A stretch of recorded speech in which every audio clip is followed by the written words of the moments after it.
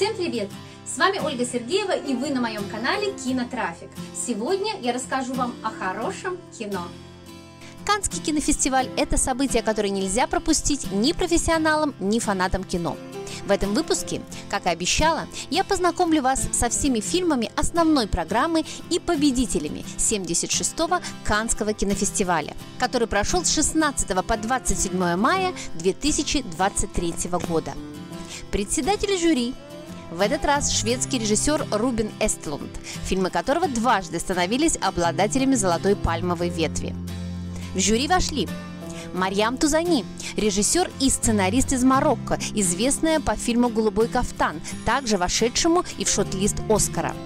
Французский актер Денис Минаше, недавно ставший обладателем Испанской национальной кинопремии «Гойя» за роль в фильме Родриго Сарагоина «Хищники» британский режиссер и сценаристка замбийского происхождения Руанга Няни.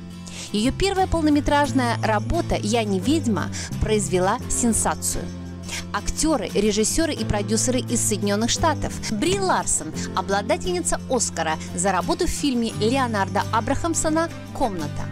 И Пол Дано, дебютировавший в качестве режиссера фильмом «Дикая жизнь» и успевший сняться в номинированных на Оскар драмах Спилберга Фабельманы и «Бэтмен» Мэтта Ривза режиссер из Афганистана Атик Рахими, автор призового фильма «Земля и зола», Режиссер и сценарист из Аргентины Дамиан Сифрон, известный по популярной картине «Дикие истории». И обладательница «Золотой пальмовой ветви» за режиссуру за лучший фильм «Титан» в 2021 году француженка Жюли Дюкарно.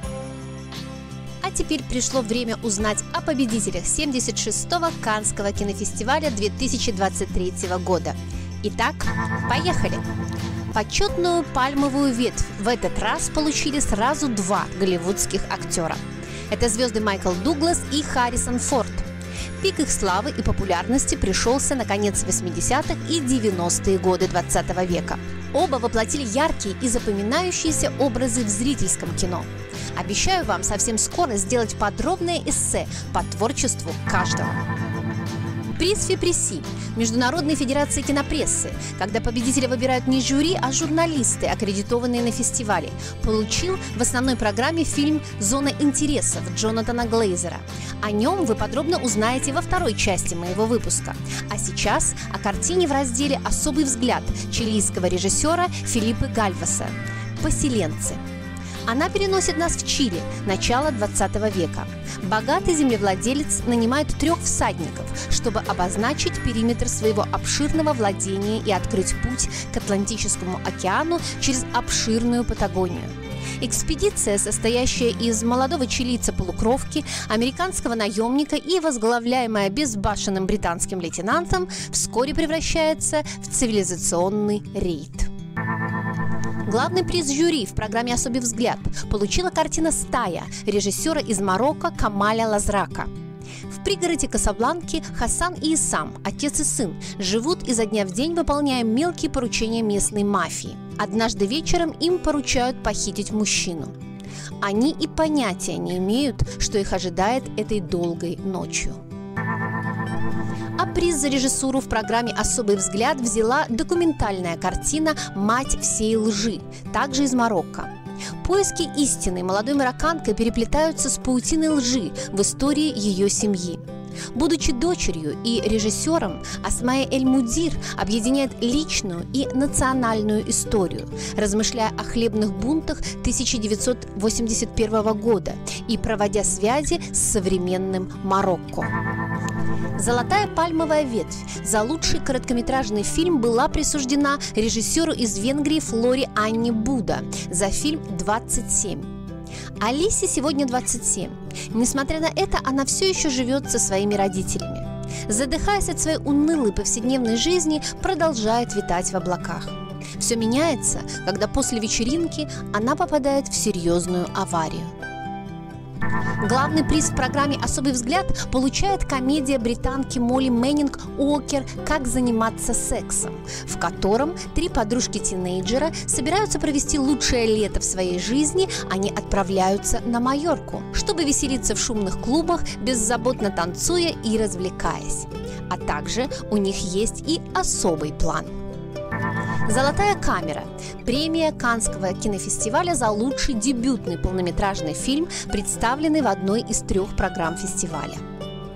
В этом году этот приз достался фильму из Вьетнама «Внутри желтого кокона» режиссера Тиена Анфама – это история эмоционального путешествия Тиена, который сопровождает тело своей невестки, погибшей в аварии на мотоцикле в Сайгоне.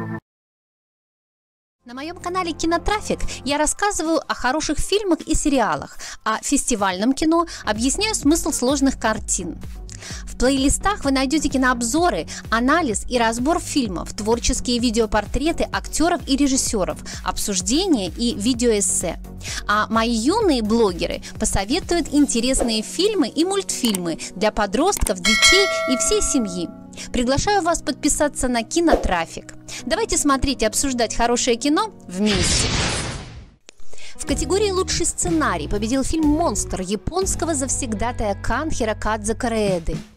Сценарий к фильму был написан Юри Сакамото. Мать мальчика Минато начинает замечать странности в поведении сына. Узнав, что виновником произошедшего является учитель ребенка, женщина требует ответов от него и администрации школы. Постепенно на поверхность выходит горькая правда – Картину можно сравнить с культовым Рассимоном Акиры Курасавы. История в нем рассказана с разных точек зрения. Автор берется за свою излюбленную тему – природу семьи. Лучшим режиссером был признан Чан Янгун за свой фильм «Рагу Дадена Буфона». Фильм воспевает любовь и гастрономическую тему. 1885 Повариха и жени 20 лет работает помощницей Даден Буфана. Когда тот предлагает выйти за него замуж, она отказывается, предпочтя собственную свободу.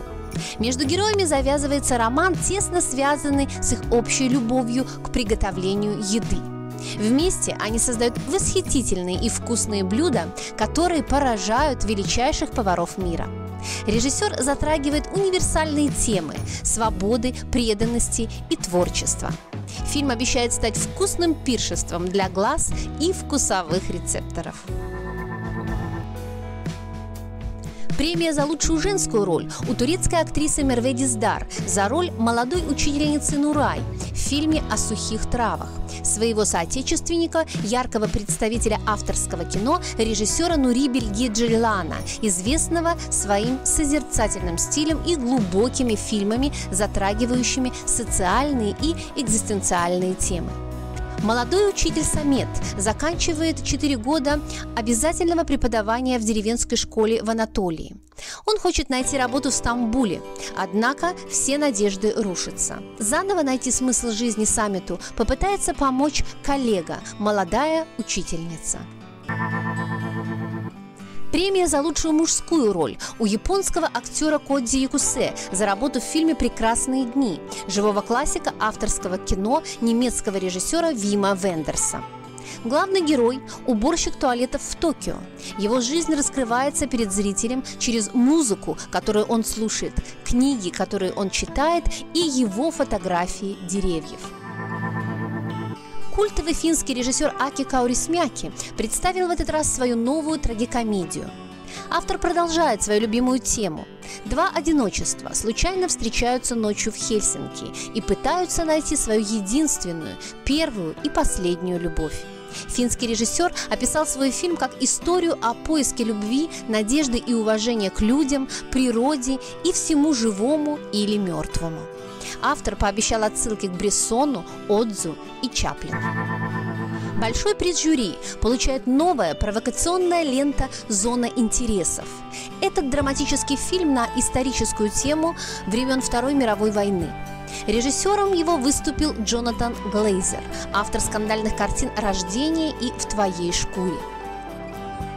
Его новый фильм основан на одноименном романе Мартина Эмиса и с особым авторским видением подходит к отображению сложных отношений между нацистским офицером и женой надсмотрщика Капа, привилегированного типа заключенных, сотрудничавших с администрацией в концлагерях нацистской Германии. И, внимание! Главный приз фестиваля – золотую пальмовую ветвь Получает фильм режиссера из Франции Жюстин Трие «Траектория падения». В центре сюжета загадочная смерть Самуэля, найденного в снегу у подножия уединенного шале, где он жил со своей женой Сандрой, немецкой писательницей, и их слабовидящим 11-летним сыном Дэниелем. Расследование не находит ответа, было ли это самоубийство или убийство. Для этого нужно понять, какова была семейная жизнь этой пары. История обещает стать напряженным и захватывающим фильмом, сочетающим в себе драму и детектив. От всего сердца поздравляем победителей и ждем отличных фильмов. А на этом у меня все. С вами была Ольга Сергеева и вы были на моем канале Кинотрафик. Подписывайтесь, ставьте лайки и пишите свои комментарии. Пока!